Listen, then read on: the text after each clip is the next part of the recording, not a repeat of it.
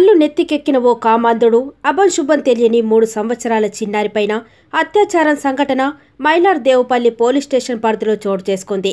CI సత్యయ్యగౌడ్ తెలిపిన వివరాల ప్రకారం రూబీనా అనే మహిళ గత కొంతకాలంగా కాటేదాన్ ప్రాంతంలోని శాంతినగర్లో నివాసం ఉంటుంది వీరి స్వస్థలం బీహార్ కాగా పొట్టకూటి కోసం కాటేదాన్లో నివాసం ఉంటున్నారు మంగళవారం రోజు రుబీనా చిన్న కుమార్తె మూడు సంవత్సరాల వయసు గల పాపను తన మేనల్లుడు రాజు ఉద్దేశపూర్వకంగానే అంగన్వాడీ సెంటర్ నుంచి మధ్యాహ్నం తీసుకెళ్ళి ఆమెపై అఘాయిత్యానికి పాల్పడి రాత్రి సమయంలో ఇంటి దగ్గర విడిచిపెట్టి వెళ్ళిపోయారని బాధితురాల తల్లి ఫిర్యాదు చేసింది.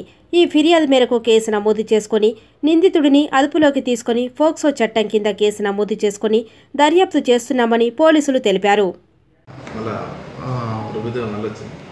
మహిళ వచ్చేసి దరఖాస్తు ఇచ్చింది ఆమె చిన్న కూతురు మీద వాళ్ళ బంధువు అయినటువంటి రాజు అనే వ్యక్తి ఇంటికి వెళ్ళి ఆమె చిన్న కూతురుని తీసుకెళ్ళి ఆమెపై మిస్బిహేసి ప్రవర్తించి ఆ, వదిలిపెట్టినాడని చెప్పేసి దరఖాస్తు ఇస్తే ఈ విషయంలో కేసు నమోదు చేపట్టింది. ఎప్పుడు జరిగింది సార్? ఎప్పుడు తీసుకెళ్ళారు? నిన్న సాయంత్రం నాలుగు గంటల అక్కడ తీసుకుపోయి ఏడు గంటలకు వదిలిపెట్టిండని చెప్పేసి తెలియపెట్టింది. నిందితుడు సొంత ఈ బాధితురాలి అక్క భర్త. ప్రజాజ్యోతి న్యూస్ ఛానల్ని లైక్ చేయండి షేర్ చేయండి సబ్స్క్రైబ్ చేసి బెల్ ఐకాన్ని క్లిక్ చేయండి. Please subscribe Prajajyothi news.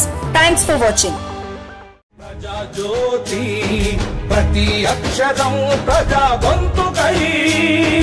Prajajyothi ప్రతి గొంతుక సింహ గర్జనై